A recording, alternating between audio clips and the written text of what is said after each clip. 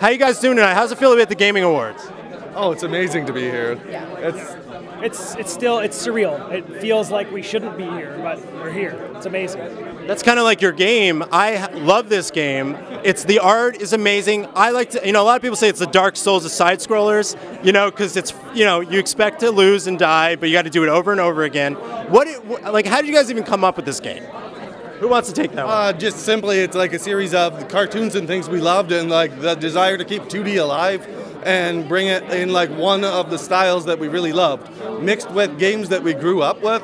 So it was kind of like a simple mix on choosing difficulty and the kind of style of genre and the underused genre, and it all came together just so lovely. We're really proud of it. Do you guys think that you have a, a like, you guys are nominated for how many awards tonight?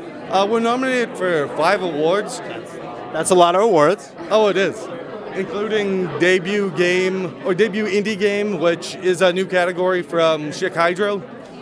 That's that's awesome. So okay, Cuphead's out. Is there a future for Cuphead for sequels? Are you guys pushing the envelope further? Are there other games you guys are going to do? Because the sky's the limit.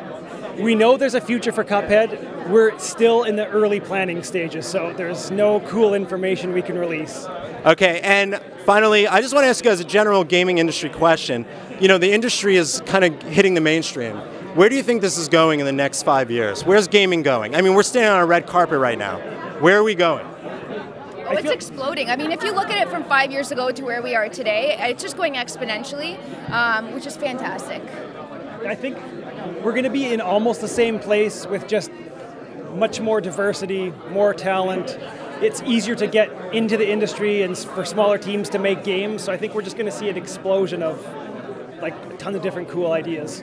I have a question. You know how you see that famous 50s cartoon of let's go to the movies and it's like the is that a heavy was that influence is that ti kind of the style because that's what I think of when I play Cuphead. I think of that famous let's go to the movies. That is so. It's more like 30s to 40s is where the style actually exists, but that "Let's Go to the Movies" concession stand uh, gig is based off of that. So they just kind of reinterpret it in the 50s for that style, but it is reminiscent of what we did for sure.